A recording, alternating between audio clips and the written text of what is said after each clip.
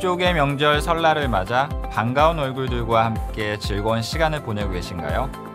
주님 안에서 가족들과 행복한 명절 보내시길 바라며 만나 스토리 시작합니다.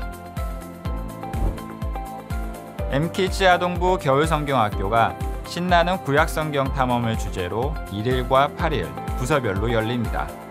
1일 토요일에는 유년부와 초등부가 각각 다니엘 홀과 피스홀에서 진행되며 8일 토요일에는 제이씨와 예수마을이 각각 다니엘 홀과 피스홀에서 진행되는데요.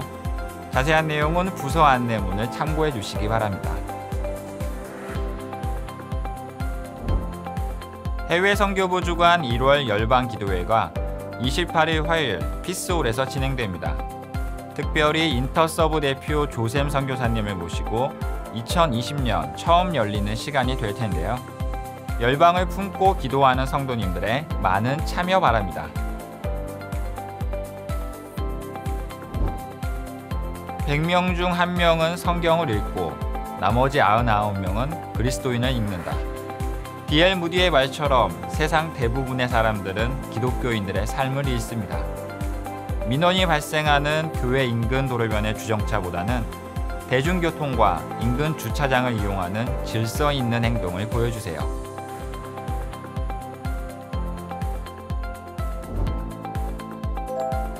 이어지는 소식입니다. 마이블루 일부 겨울 수련회가 2월 7일부터 9일까지 여주 중앙청소년 수련원에서 진행됩니다. 만나교회 예배를 섬기기 위한 카메라, 센터 스크린 송출, FD, 온라인 예배 채팅 등의 봉사자를 모집 중입니다.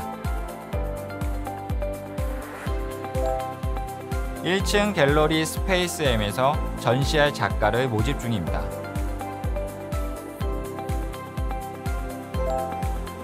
(2019년도) 기부금 영수증 발급이 진행 중입니다.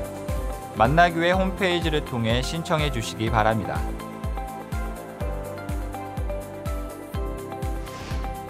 모든 신청은 2, 3층 로비 부스입니다. 우리는 만나라는 이름으로 모이고 흩어지며 하나님의 일하심을 목격합니다. 그 일하심을 나눌 수 있는 믿음의 고백이 있으시길 소망하며 이번 한 주간도 승리하시기 바랍니다.